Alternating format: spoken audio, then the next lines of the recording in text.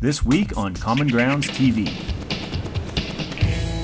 We start a 15,000 kilometer quest for coffee from Peggy's Cove, Nova Scotia. We don't get mugged in Halifax. And we go underground to find a cafe known as Uncommon Grounds.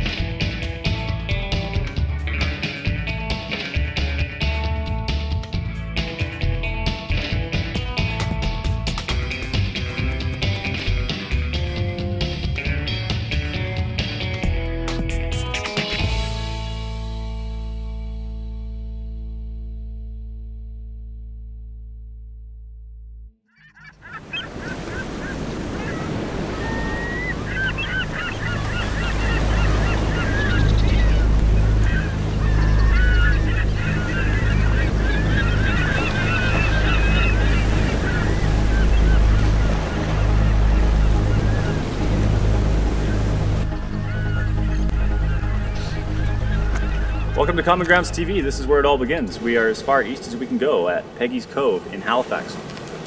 We just came from the uh, actual shore, the rocks, right next to the pounding Atlantic, and uh, damn near got swept out to sea. So we thought we'd come back a bit, uh, take a few steps away from the ocean towards safety, away from certain death, and uh, try it again.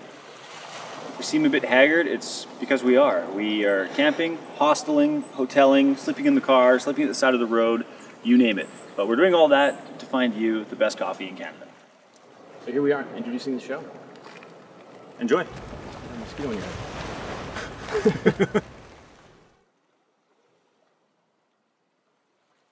We're using two vehicles, the first of which is the Audi A4 you see behind me. We'll be sort of adapting a coffee delivery system to help us with the middle parts of the country that really don't offer that much in the way of coffee. The second vehicle Something a little bit more suited to the landscape of the Pacific Northwest. Something that will tackle mountains, streams, rivers with uh, the same kind of poise and uh, facility that the Audi tackles open road. To prepare for our journey, we asked the folks at Canorab to make the Audi stand out, and within minutes they had emblazoned our cross-country vehicle with 3M decals from the sponsors who made the series possible. The Audi was an easy choice due to the car's combination of mileage, storage, and comfort.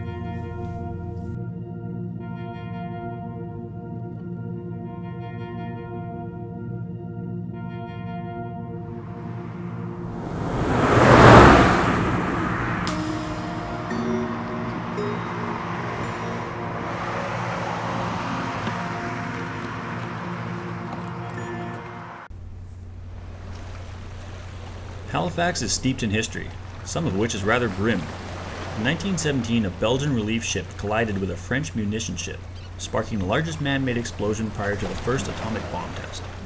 The blast devastated the city's north end, killing 2,000 people and injuring another 9,000. To look at Halifax today, one would scarcely believe the city had endured such a disaster.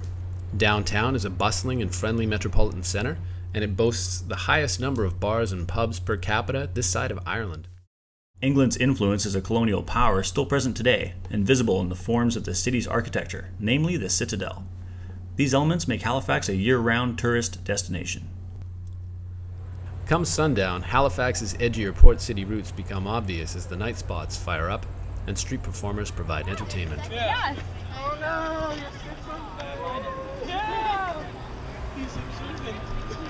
Here we go. Here we go. A little warmer for the audience. Here we go.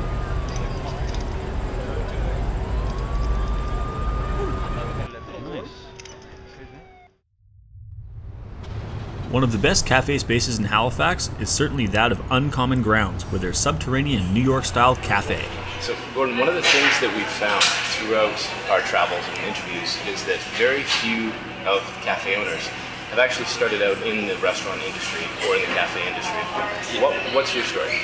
Uh, well, I was a big coffee drinker and uh, hung out in a lot of cafes, but I started out in life as a, a chartered accountant and an investment analyst, and eventually got tired of doing that whole thing and, and decided that I had more passion for coffee and, and I thought it was more interesting. And so I, uh, I quit my job and started a cafe. Halifax has always had a lot of cafes, but they've always been focused on the main shopping streets. Um, but the reality is, there's so many great neighborhoods in the city that you know people would leave their house and you know get in a car, get, get on a bus to go to a cafe It just didn't make any sense. Um, you know, great universities. You know, there's thousands of apartments within you know a couple of blocks of us here. So we uh, we took a flyer on this location. It was uh, you know everybody pretty much said that's crazy. We'll never work there. Um, and we've been busy since the day we opened. Yeah, it's interesting. You've noticed a lot of the, the old town, the old city Halifax, is very, uh, very retro. It's very Yeah. traditional. Yeah. You've kind of taken a different approach here. Yeah, no. Again, I think a lot of people tried to play it safe, and they saw something in the city and wanted to copy that. Whereas, you know, we had traveled a lot, we know a lot of different cafes, and wanted something that was really going to stand out. Because again, if we were going to be off that main street, we wanted to make something, you know, very unique.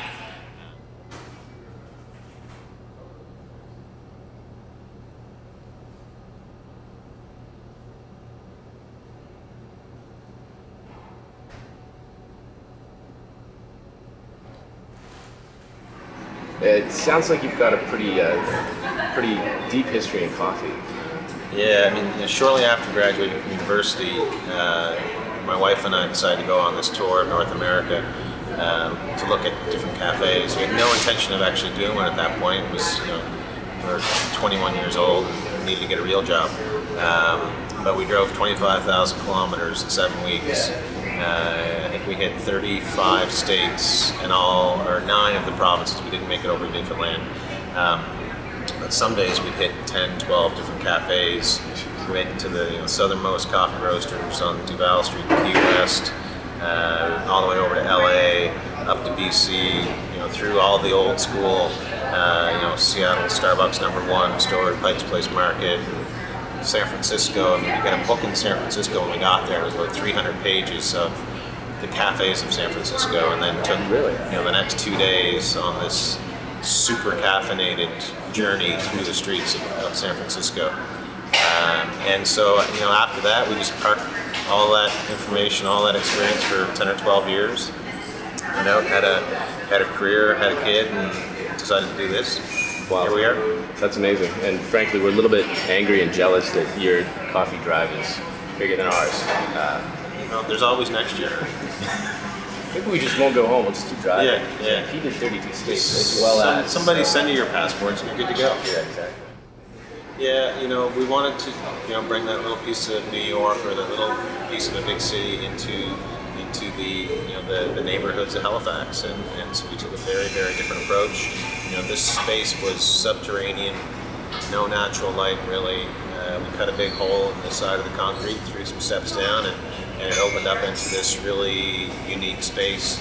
Um, so you sort of walk in and, and you're on top of it all, and you get to sort of scan the crowd, and see your friends and neighbors, and Survey from above. And uh, you know, it's kind of like that Cheers moment, you know, when they're coming down the stairs and everyone yells "Hi, Norm." Well, You- you're and the you, you have that same you have that same ability here because you come in above everybody, Right. um, so people kind of see you coming in. Cool. And what was the space prior to you occupying it? Uh, it had been a number of things, but most notably it was the pool uh, for the building and the uh, gym uh, in the 70s and early 80s. Cool. Any remaining traces of that? Oh yeah, yeah. My office is on top of the pool right now, so it's uh, just built up the floor, and, and there it is. Our washrooms are what used to be the uh, the uh, change rooms. So this is it. This is what people come far and wide for. Can you tell me again what goes into this? Uh, Guatemalan, Kenya Rican, uh, Kenya and Costa Rica. Kenya Rican. Yeah, Kenya Rican. Very It's a, it's a new country. We're going to merge the two of them later on. Uh, Coffee growing economic giant. yeah, exactly. That is uh, that's Fogburner. Great name. Designed to burn off your morning fog.